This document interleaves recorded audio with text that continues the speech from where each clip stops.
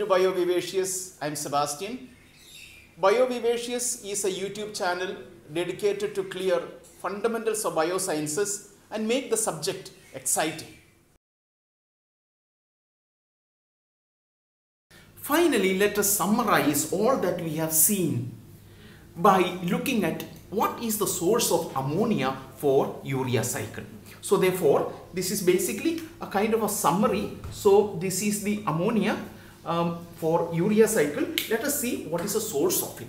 So one possibility is through transamination reaction. So uh, transamination reaction and clubbing with the glutamate dehydrogenase. So we will get ammonia. That is one source of ammonia that we have learned so far.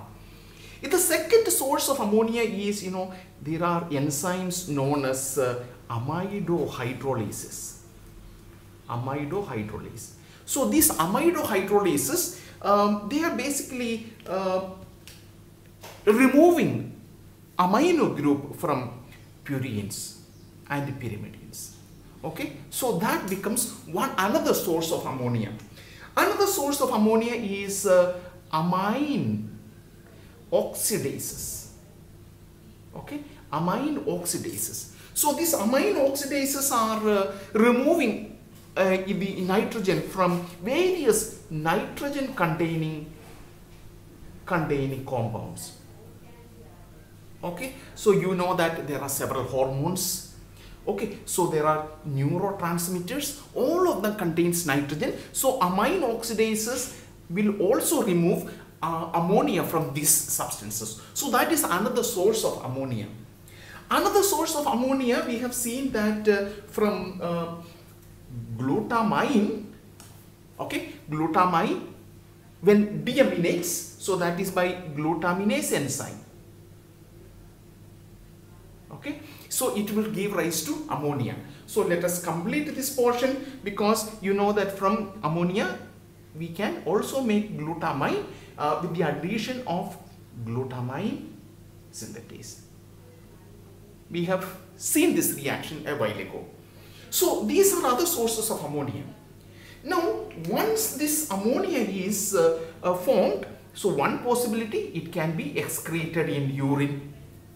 Okay, so Another possibility that is for maintaining acid base balance. Another possibility is this is used for urea cycle. Okay, it is used for urea cycle. And you know that in the urea cycle, urea is released and it will be excreted in urine. Now, um, there are certain intestinal bacteria which has an enzyme known as urease enzyme. So these bacteria can act on urea.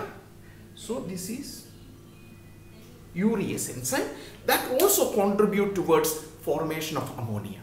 So look at the, the, the sources. So therefore, this is one source, second source, third one, fourth source and fifth source. Five sources of ammonia for urea cycle. So this gives us an overall idea about how ammonia is generated and how it contributes towards uh, formation of urea cycle.